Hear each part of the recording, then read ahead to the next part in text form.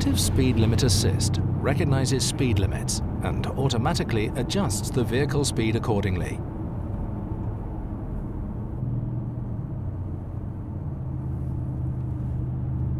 Speed limits recognized via camera or navigation system are displayed in the instrument cluster and adopted by Active Distance Assist Distronic automatically as set speed.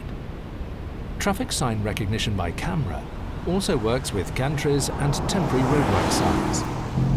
Where the maximum speed is not limited on motorways, the recommended speed of the according country is supplied by the navigation system as the new set speed for Distronic. Implicit speed limits, for example, 100 km per hour on country roads and 50 km per hour in cities in Germany, are also supplied by navigation.